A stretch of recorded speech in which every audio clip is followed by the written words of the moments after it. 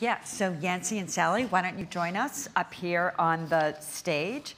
And uh, in 2007, Sally, I, knowing your background as a foreign correspondent and as a journalist in some of the world's uh, trouble spots, Yes. um, I feared that you may have been in one of those Yes. in 2007. which I you can tell us a little bit about that? And Yancey, we're really looking forward to you telling us um, so much about how you got Kickstarter started. So, I guess in 2007, I was based in Cairo. It was before the revolution in Cairo, um, and was responsible for coverage of all of the Mideast, including the Iraq War. So um, I think from that time to this time, there's a couple things. I, I found a lot of resonance in what so after I did that, I, I, I went to what is probably as far away from that as you could possibly do, which is to be Washington Bureau Chief for the AP. Did that for a couple years through two presidential cycles, and um, now am based in New York. I think that there's just been so much change, so much of it bewildering, but also so much of it deeply optimistic in journalism, and so much of it completely tied to digital transformation, um, technology. I found a lot of resonance in a lot of what Paul said about how journalists actually use technology these days. I think it is so different than it used to be. I kind of think there was a time back in 2007 where you thought of data as like this sort of, you know, rabbit hopping around the newsroom or something, right? It was a thing, right? And what I have found the most transformative is that ordinary journalists now use technology and, and and, and use data just simply as one of the other tools in their reporting toolbox. I mean, I, we tried a couple of years ago in Washington to just completely try to demystify this as much as possible. You have tools as a person trying to get information. Those tools include your ability to get people to talk to you, and they include the ability to look at numbers and other information and get information, usable information of that. Um, I still think there's some work to be done on that. I think that there still is a little bit of a, I'm fascinated by um, one of the grants. I know Columbia has worked really hard to try to get the connection between you know, what you think of as people who understand news and journalism and people who can use technology. And when I go out and talk to people at schools or, or whatever, I say that's what needs to be focused on, right? I mean, that is the real critical thing. In some newsrooms, there still are divides between the people in one corner who can code and the people who have the news instincts. But everything that we've been trying to do the last 10 years has been to break down that, that boundary and, and create cohesive teams where people are teaching other th- this stuff because it's, it really makes a huge difference. We have a story on The Wire today, on our app today, that's about um, a hospital in a, a, a, psychiatric hospital in Hawaii that has a really big walk-away problem, and somebody walked away and, and, and did a, a bad crime.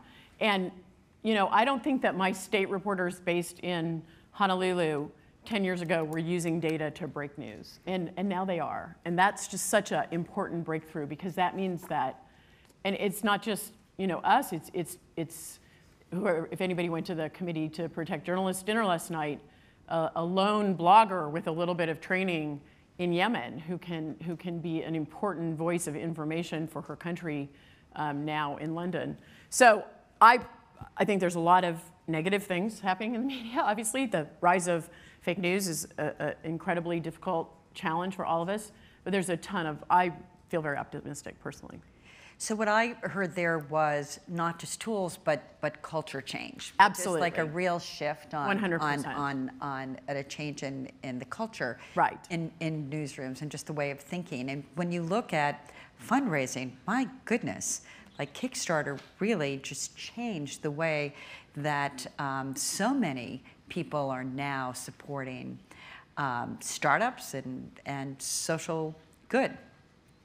Yeah. Uh, So how did it what's all up, begin? y'all? Nice to see you. Yeah, Uh, take us back there. uh, well, 2007, I was actually working as the editor in chief of a music magazine. Um, so that's what you expected to hear, I'm sure. Uh, but yeah, uh, platform called eMusic. It was the first music subscription service. In my life before Kickstarters, I was a music critic for eight years, writing for The Voice and City Pages and Spin, Entertainment Weekly, things like that, uh, just reviewing records. And so that was my, that was my life at the time. Uh, but a couple of years before that, in 2005, I had met uh, a person who's my co-founder in Kickstarter, one of my two co-founders, Perry Chen, when he was working as a waiter in a restaurant where I was a regular. And he had had this idea of a new way to fund creative projects. He proposed an idea online. People put up their credit cards, but no one is charged unless it sells out. Um, and so we decided to start working on that.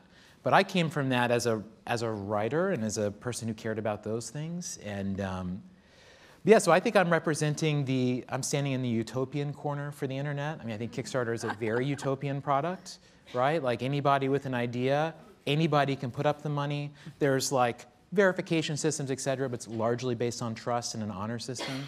And it works fabulously.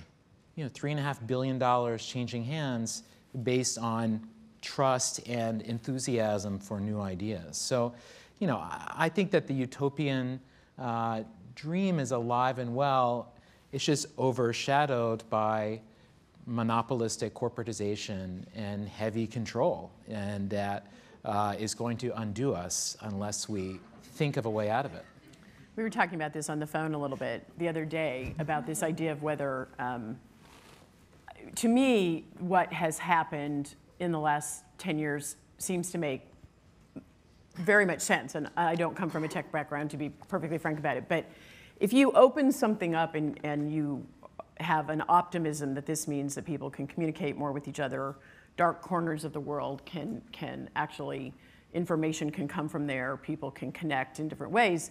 Those are all very great things, and I think a ton of that has actually happened over the last 10 years. But, but those same, that same power that's inherent in that, obviously people who want to spread misinformation and people who want to uh, manipulate information, they have the same access to that. And so to me, it's much more the last 10 years are like the battle is joined, right? Much more than there was going to be a utopia and that was just going to be the absolute sort of outcome of it. I mean, I, I find that my own organization is incredibly more transparent than it was 10 years ago. It's probably not nearly as transparent as it needs to be, but in terms of whether the folks who interact with our journalism whether they have more of a say in, in what we do and, and if they have more influence on, on how we think, absolutely, 100%. It's, it's like night and day to me. And, and I think that's what the point of it was, was to give a bigger voice to everyone. Yeah, it's funny that, I don't think that you were saying this, but I think that there is a sense that um, like there are wrong voices out there or discourse, right. discourse is broken. Right. Uh, which is amazing considering like these are just all ideas that live in the minds of human beings. And the idea of like some of those things, it's just, it's a hard, it's a hard place to draw a line. Um, and we're just simply being exposed to what's actually there. And, you know, I was thinking about this today, like, um, like these like institutions are very, uh, all of our institutions in America are based on uh, a shared sense of values that is either implicit or explicit. Like every institution depends on, like there's six things we all agree we're going to do here. We don't lie, we don't whatever, we don't murder each other. There's some basic uh, set of things. And right now it feels like we're lacking that in culture completely, and um, in, in, American culture in particular. But then you know, I was thinking actually, well, when we look at our, the Constitution as our values, actually maybe we're killing it mm-hmm. according to our values. What are the top two American values according to the US Constitution? Freedom of speech and right to bear arms. maybe this is America at its most Americist. You know, like number three, no soldiers are living in our homes. Like, check on that too. So maybe, maybe this is the plan, and maybe, and maybe it's just that uh, the folly of mankind, the way that we build systems, the way that the way that we try to force order and a simple model upon a world where there is no such thing is going to produce these things that are very uncomfortable for us, very yeah. challenging for us, but they're all true. And, I mean, I think, uh, I, think, so I think that's a really good point, and I also think that, you know, um, when you talk about something like, do people believe in facts anymore, right? And, and I've been in a, I'm sure you all have too, a lot of seminars the last year where it's like facts, no one, no one in the world believes in facts. And I mean, there's a lot of people in the world who believe in facts, okay? And, and there's clearly a couple of folks right now who, um, for various reasons, have decided that they don't want to believe in some facts or something like that. But that's just the truth of our, that's just like the truth of our world. That's, that's not, to me, something that means, I, I'm not expressing myself very well, but there are a lot of people who seek out factual information when it is important to them. Okay?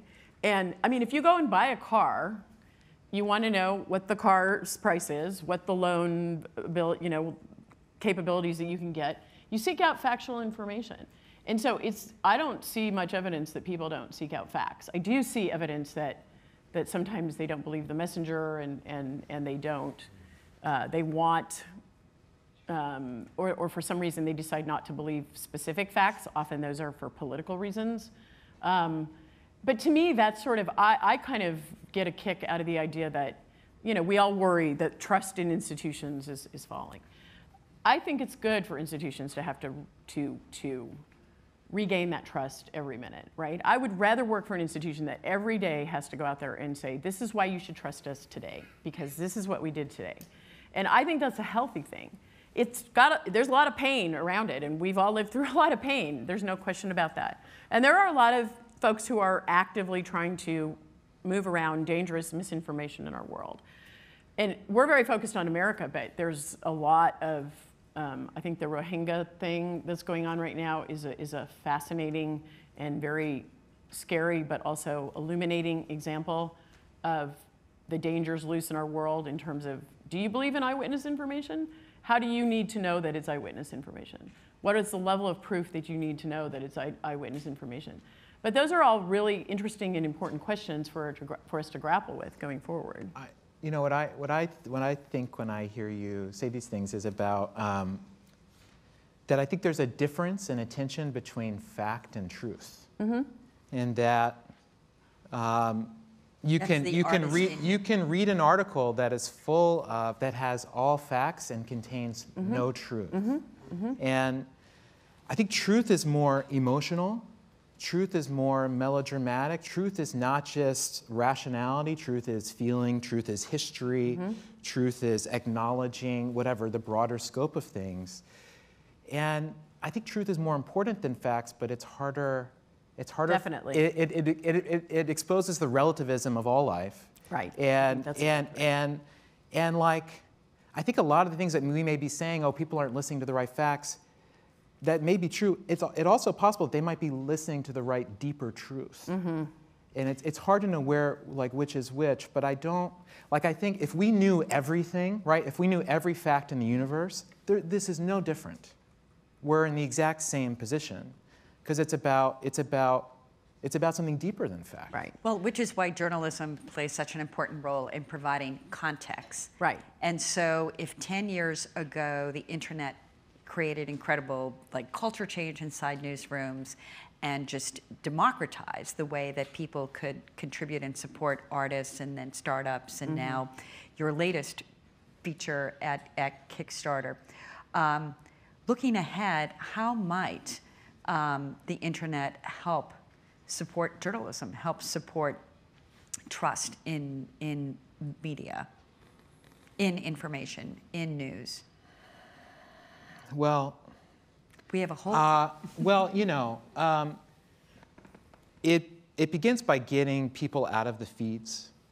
Um, every day, every moment that you spend uh, swimming in a feed of other people's thoughts, like you are stuck in mud. You are not going to go anywhere. Um, like there's no, there's no truth in feeds. There's facts in feeds. Uh, like I, I found myself recently wanting like a, uh, an editorial publication that only has like a 10-year horizon. Like it only reports on things that started at least 10 years ago.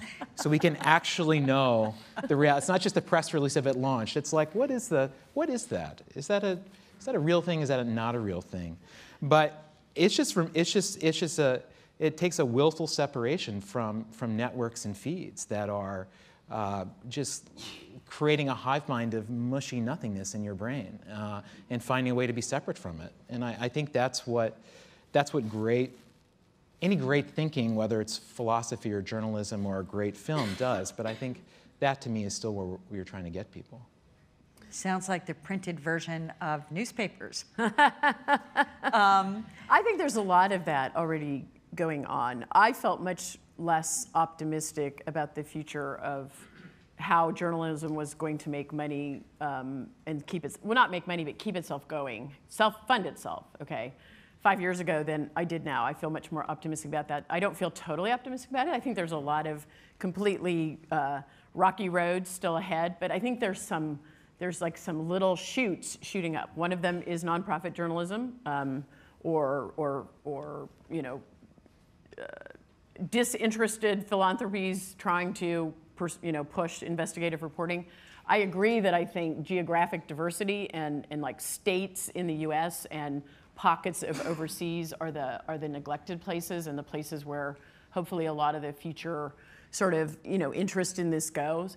Um, I had this fascinating sort of fight with two of my um, relatives a couple years ago at the Thanksgiving dinner table. This was before families had fights at Thanksgiving dinner table. We always had them anyway, but they were they both um, work for um, um, very prominent technology companies in America, and they were both essentially internet utopians. And I love them both very dearly, but they were um, talking to me about how all information should be free. And at that point, I was in Cairo, and I was trying like mad to take my tiny little news budget and cover a war that the United States of America was involved in in Iraq.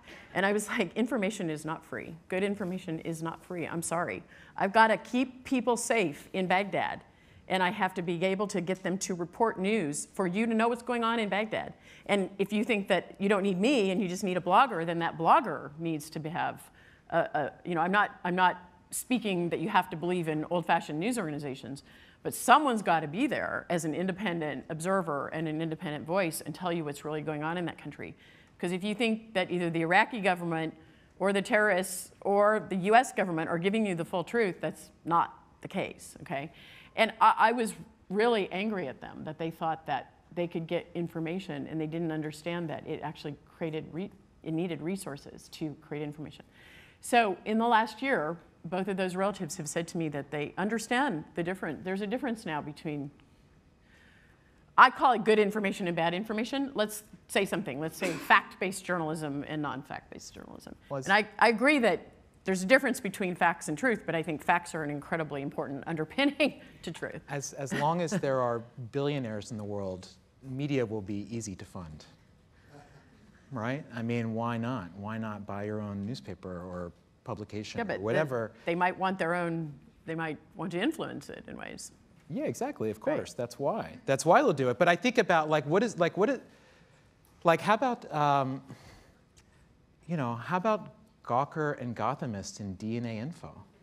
Like, how about three of like the early pillars of web publishing, you know, murdered? Got murdered, it. not because that they weren't providing value, because they were providing value, or be, you know, or they agitated for something more, um, but just gone. Like, that just happens. We're all going like, oh, that's no big deal. Gawker was terrible. Whatever. Gothamist, it was clickbaity. Sometimes, whatever.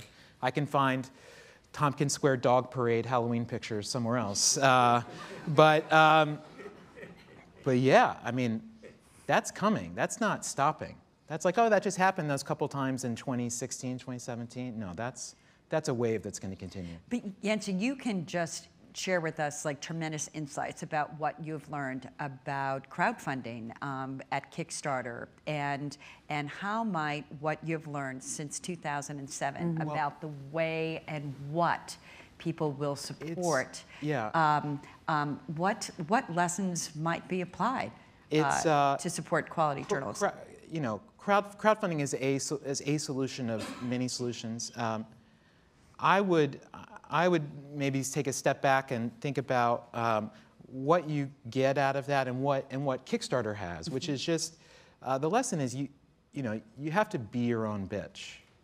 Like someone's going to control you, someone is going to write a check for you. Like as much as you are in control of that and not someone who you're not, you know, close with, like that makes the biggest difference. Um, and so I think that means, that does mean charging for things, that does, or it just means not paying yourself, or guess what, y'all, like, none of us are making money on this, we're just doing it to do it. Uh, but there have to be a trade-off there. If the trade-off you're making is, oh no, we're gonna get a lot of money, and we're just gonna like grow ourselves away to where we can be powerful and do whatever you want, you know, that's never gonna work. You're always selling something, and if it's your soul, you should know it from the beginning. So as it so so you uh, came to Kickstarter as a as a music critic, as a, as an artist with a real appreciation. What might journalists and journalism learn from artists? Well, you know, I think it's maybe um, it's about having a clear vision of difference. Um, you know, as an artist, your practice is about like what is, what is unique about you. You know, you're in a market of there's like okay, there's a billion painters, who cares? But like what what is that specific angle? And then like just owning that so hard. You know, just it's, it only becomes about difference, and that's how you build an identity. And that's how you build a brand. And you could try to do that by saying, like, we're everything to everybody, come, whatever. Like, no one believes you. Weirdly, the more specific you are, charging $400 a year for the information, like, that's attractive. Like, oh, that person seems so confident. They know what's going on. I want to be a part of what they're doing. So it's like taking a harder, bolder stand and being willing to sacrifice. There's a, uh, the law of sacrifice is something I believe in. If you want to get something for people, you got to give something up. And, and so if that's trust, then that means there are other things you're going to have to trade on. And maybe that nice office in Flatiron and the nice 20 inch monitors for your designers is something you're not going to be able to afford. And Sally, we just have a, a minute or so left looking into the future. Let me see, Yancey, looking into the future, you're stepping down as CEO of uh, Kickstarter. Is there a newspaper in your future to own and to guide? The, the Yancey Gazette publishes daily. Uh, uh, It will have a big no, music but, No, but, um, but I, uh, I'm convinced we, uh, our, even our new ideas are too old. Hmm. And, uh, and, and I, I, I believe very strongly we need, we need very different ways to think about the future. And, um, and that is, uh, that's what I'm about. And so there's more to come from me on that. Great. And Sally, on a note of optimism, as the last panel. The way uh, I would did, express that, I, I think that um, what I think is important going forward is I agree completely that the pace of change almost has to increase more dramatically than less dramatically. And, but what, what I've been trying to think and, and to somehow find ways to express is that the values of organizations, like my organization, stay exactly the same. I, I don't want to change the values of my, it's, it's accuracy, it's facts, it's fairness, it's, it's those sorts of things.